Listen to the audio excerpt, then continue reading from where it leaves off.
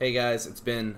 Uh, I'm making this video to show you how to set up your uh, VS Code environment to um, be able to uh, lint these Python uh, Python errors. So like import OS, but it's never used. So, but I want something to tell me that. Same thing. This is a really long variable, um, and I want it to tell me that that's that's wrong. Also want these doc strings, and this is for Python. So if you're watching for another thing, I'm sorry, but I don't have those answers. Uh, first, we got to get to our settings, right? And the best way for me, I know how to do this, is going to the terminal and then saying edit in settings.json. Alright, so you see this right here. Um, now my linter that I like is uh, Flake 8. So let's start working on that. Python.linting dot uh, flake 8 you can see that they already have uh, functionality for flake 8 which is good.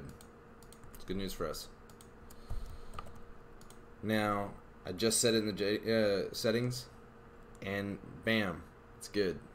Now let me show you if I turn it off. Not good. Nothing's screaming at me. Turn it back on. Screams. Alright and this also says too long. I don't know why it's over the end, but it is. But the doc string isn't going. So let me let me do that. And let's say Python dot linting dot flake no not flake uh, py doc style all right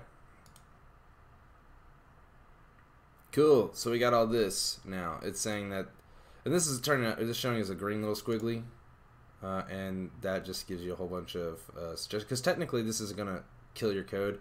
This might slow it down. I mean, I think this is just unreadable for most people. Anyway, uh, now if you let's say you don't want the conventions that this one. Let's look at this right here. So it says there's a D403 error is like this, not this, uh, which means it wants uh, capitalized. That this should be capitalized. Okay, well let's get rid of that error. What if I don't want that? What if I always want everything lowercase because I have some different convention? Well, uh, wow, this is this is gonna be. I think it's args. I normally let this thing help me because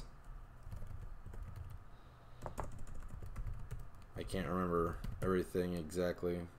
Um, pydocstyle args. There we go